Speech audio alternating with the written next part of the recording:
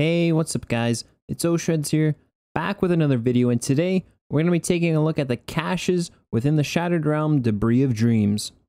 To preface this, you will need to complete one run of the Debris of Dreams before being able to see these caches as you need the Wayfinder's Compass upgrade called Frequency Echoes.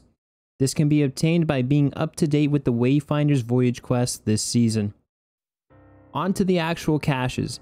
To make this simple, first complete both beacons. After you have done that, make your way into the Ascendant Mystery Room shown here and follow the pathway outside.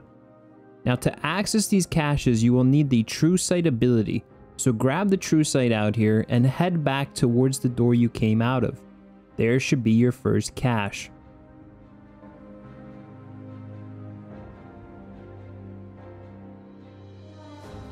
Moving on from there, you will want to head to the giant fallen building on the outer edge of the map. Head down through where there is a barrier wall and into the teleporter, you will find yourself out on the floating island far away. Grab the true sight and follow the pathway down to get the next cache. It will be sitting just on the backside of this little room next to a mystery chest. And after you've completed that one, make your way back over towards the first beacon. To leave this area, Grab the true sight again and take the pathway that leads towards the fallen building. From there, you can get back to the first beacon.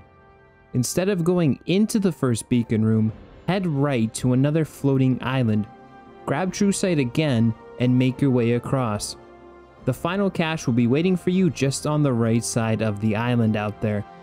And that's it. All the cache is within the Shattered Realm Debris of Dreams. I hope this has helped you be able to find all three.